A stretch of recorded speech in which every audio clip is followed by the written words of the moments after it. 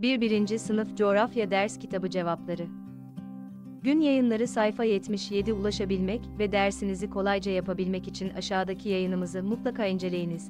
1. 1. Sınıf Coğrafya Ders Kitabı sayfa 77 cevapları Gün yayınları turizm şehirlerinin başlıca özellikleri turistik değeri olan doğal ve tarihi varlıklara sahip olması ve turizm gelirinin yüksek olmasıdır.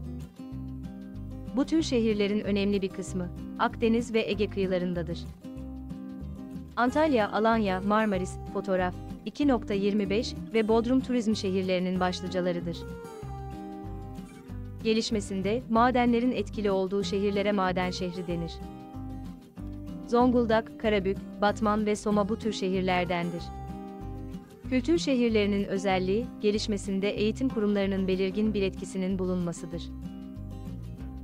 Bu tür şehirlerin tipik örneklerinden biri Eskişehir'dir. İstanbul, Ankara ve İzmir gibi şehirlerde diğer fonksiyonlarının yanı sıra sahip oldukları üniversitelerden dolayı kültür şehirleri grubunda yer almaktadır. Bazı şehirlerin gelişmesinde ulaşım koşulları etkili olmuştur. Özellikle ana yolların kavşağında bulunan şehirler hızlı gelişmektedir.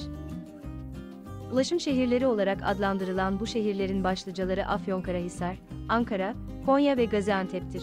Etkinlik aşağıdaki tabloyu verilen şehirlerin ön plana çıkan fonksiyonlarına göre örneğe uygun olarak tamamlayınız.